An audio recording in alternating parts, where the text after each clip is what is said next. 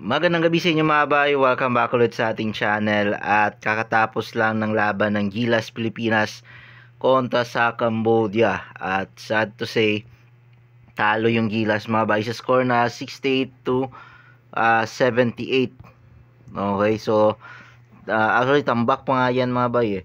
uh, humabol na lang yung Gilas uh, last minute ng uh, fourth quarter. Uh, hindi na rin kasi masyadong umiscore yung Cambodia kaya dumikit yung laban Uh, ang masama pa nito mga bay, uh, medyo na uh, muntik na magkarambulan mga bay no, sa laban na to. Uh, kita nyo dito sa picture to, uh, yung head coach kasi ng Cambodia eh uh, grabe mga trash talk mga bay sa Gilas Pilipinas. Kaya uh, napunasita siya ni uh, Chris Ross. Ako hindi na si Chris Ross, si Chot Reyes. Uh, nagkasagutan din yung head coach ng Cambodia at si Chot Reyes. And then sumali na tong si uh, Chris Ross. And then after ng laro, eto nga nagpang-abot sila. Hindi na rin kinamayan ng uh, ni Chris Ross yung uh, iba pang uh, uh, members ng Cambodia at saka yung head coach. Eh, pinaiiwas na rin. Uh, grabe din. Medyo uh, masasabi din natin na may luto din na kahit pa paano. Especially sa mga tawagan. Pabor talaga sa Cambodia.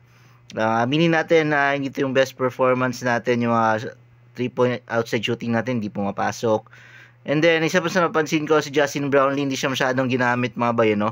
Uh, kagaya ng sinabi ko, uh, napansin ko na medyo wala sa kondisyon si Brownlee maglaro. Okay, hindi ko alam kung dahil ba sa sobrang init ng gym. Pero sa tingin ko yun yung dahilan, kaya hindi siya masyadong binabad. Hindi siya nakapag-perform ng maayos.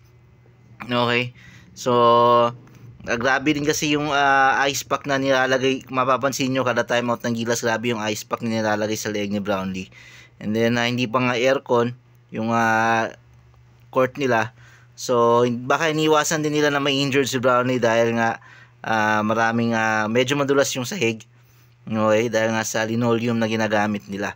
Hindi. And then uh, syempre tontuwa yung mga fans sa yung coach ng Cambodia. Ito ba naman no, kita nyo kung gaano kasaya, proud na proud yung coach ng Cambodia sa uh, pagkapanalo nila sa Gilas Pilipinas pinapatulog mga kanina yung Gilas eh. Nag uh, night night na yung uh, coach nila pati yung uh, yung import nila si Morgan yata yon or si Dorsey hindi ko na uh, alam kung sino yon.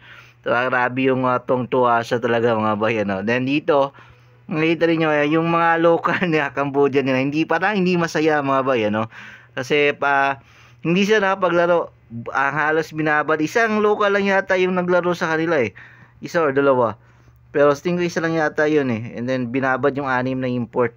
Okay. So mukhang hindi masaya yung uh, na mga local players ng Cambodia sa pagkapanalo nila. Yung mga import lang siya, yung mga fans, sabi din yung mga fans ng Cambodia.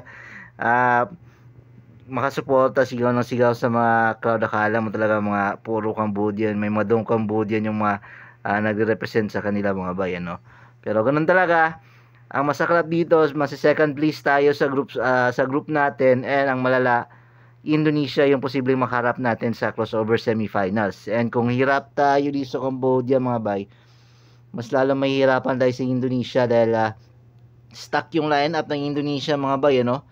And then uh, bang mayayari nito pag natalo pa tayo sa Indonesia, fighting for bronze na lang tayo. So it's either uh, uh, malamang sa malamang Thailand yung makalaban natin or Cambodia sa fighting for bronze.